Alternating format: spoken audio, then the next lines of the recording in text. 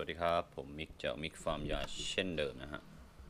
วันนี้เรามาพูดเรื่องการใช้ยาปฏิชีวนะ ในวงเล็บยาฆ่าเชื้ออย่างสมเหตุสมผลนะครับ ก็จะพูดในประเด็นหลักๆอยู่7ประเด็นนะฮะ ก็แบบสรุปกันอย่างรวดเร็วนะฮะ ข้อที่ 1 ยาปฏิชีวนะ คือยาที่ใช้ฆ่าเชื้อแบคทีเรียนะฮะสำหรับโรคติดเชื้อและการอักเสบที่เกิดจากเชื้อแบคทีเรียเท่านั้นนะฮะ ครับผม เป็นเองเหรออ๋ออยากขายกับหนึ่งนักกีฬาเนาะเขาจะเอาแค่ขายกล้ามเนื้อเนาะไม่แพ้ยานะครับน้ำหนักเท่าไหร่ครับโอเคครับก็สองเม็ดนะฮะหายก็หยุดได้เลยนะฮะสี่สิบบาทได้ครับง่วงนิดหนึ่งนะครับ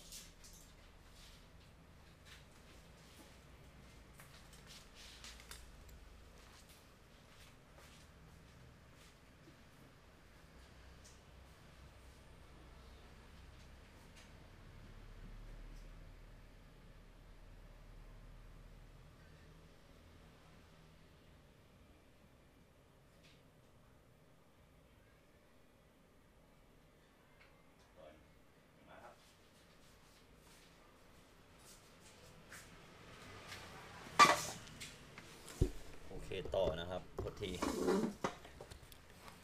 ยาปฏิชีวนะก็อย่างเช่น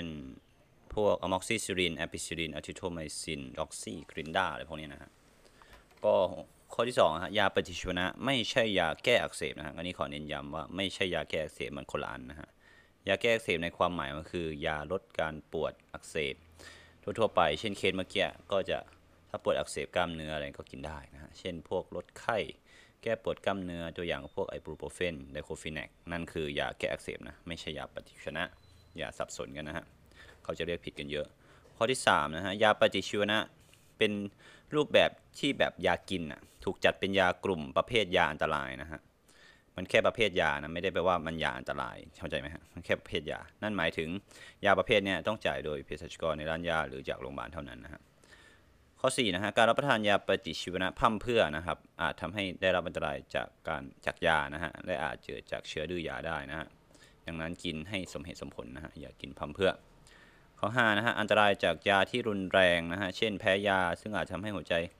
เต้นผิดจังหวะได้ หายใจไม่ออกช็อกเสียชีวิตได้ ดังนั้น ถ้าไม่จำเป็นก็ไม่ต้องกินนะฮะแต่ถ้ารู้ว่าแพ้ยาอะไร ต้องมีบัตรแพ้ยานะครับ เพราะว่าการแพ้ครั้งต่อๆไปอันตรายขึ้นนะฮะข้อที่ 6 เชื้อดื้อยยานะฮะจะทำให้ไม่สามารถรักษาด้วยยาเดิมได้ ต้องใช้ยาที่แพงขึ้นแรงขึ้นนะฮะจนสุดท้ายอาจจะไม่มียาที่ใช้รักษาได้เพราะมันดื้อไปเรื่อยๆ ดังนั้น ต้องกินให้สมเหตุสมผลจะได้เชื้อจะได้ไม่ดื้อยานะฮะ